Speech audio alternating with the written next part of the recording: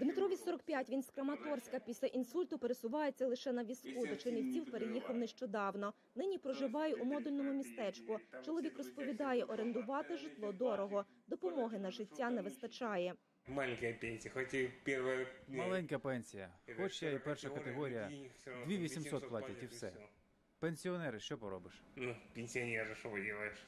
Пані Любов саме роздає допомогу людям з інвалідністю та тим, хто опинився у скрутних обставинах. Жінка пересувається на візку, але каже, це їй не заважає допомагати іншим. На сьогодні у нас уже по переліку майже 15 тисяч осіб зареєстрованих, яким ми на постійній основі даємо допомогу, постільну білизну, одяг, взуття, все те, що є предметами першої необхідності. Ті кошти, які вони отримують, їм вистачає суто на проживання, а на харчування вже тих коштів не вистачає, тому ми надавали їм допомогу. На пенсію 2,5 тисячі досить складно купити собі їсти, заплатити комірне і придбати ще якісь ліки. Самі розумієте, що зараз ліки дороговартісні.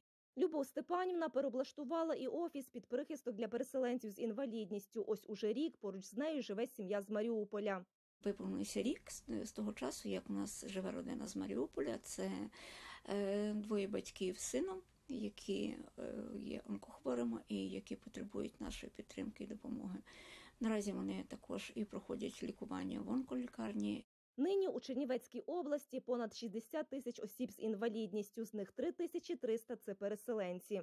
Питання безбар'єрності, питання ментального здоров'я, питання надання соціальних послуг, які, скажімо, ці три питання, які чітко переплетені, вони е, сьогодні абсолютно в такому е, пріоритеті, навіть і в умовах війни.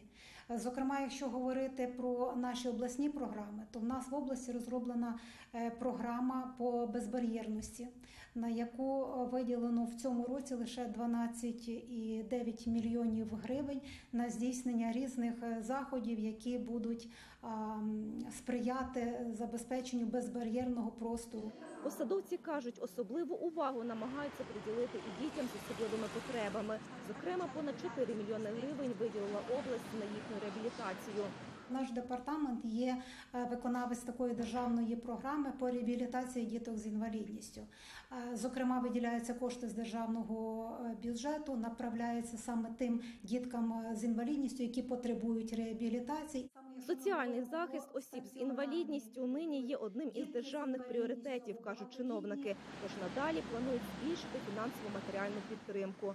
З Чернівецької області Ольга Лучик, Ігор Віга, подробиці, телеканал Інтер, марафон Єдині новини.